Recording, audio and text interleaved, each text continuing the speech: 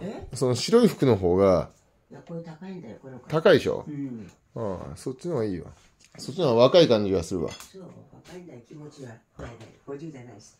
あ20代ね。じゃあなるべく、できる？でもできるよ。?OK。はい、I love you 中年です。M ヤンです。えー、ボケたアルツハイマーの父親の本をね、捨てましょうという資源ゴミの朝です。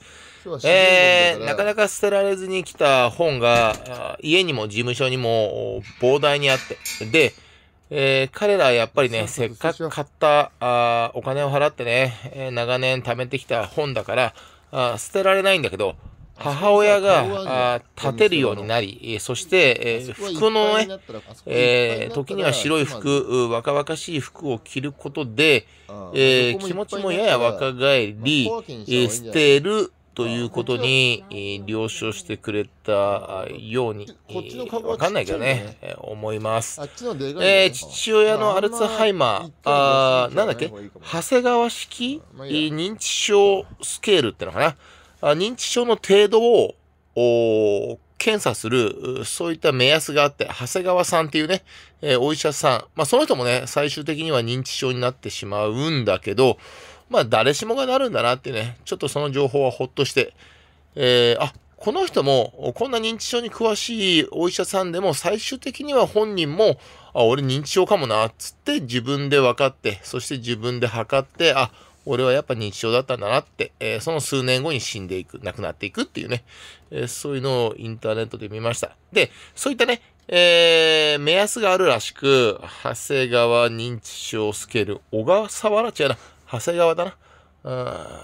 で、それでうちの父親を測ってみたんだって。今、入院して2週間ぐらい経ったのかな？ちょっとわかんないけど。で、病院から、あ連絡で、びっくりしないでください。あのすごいこう、地方が進んじゃったんでっていう話を母親聞いたらしく。で、えーその、長谷川さんの検査では、あ、見て今の。ね、今のはちょっとね、切なかったな。うちの兄がね、作った、あハッピーニューイヤー2023か。やっぱ彼も楽しもうとしてるんだねっていうのが、細かくね、わかるようで、えー時々切なくなりますが、まあそれはそれでいいとして。えっ、と、やっぱり終わっちゃうじゃん。待って、えっ、と、長谷川さんの、そのマックスが30。30点ってのかな ?30 点がマックスで、えー20点しか取れないと、認知症の疑いがありかな？初期の認知症かな？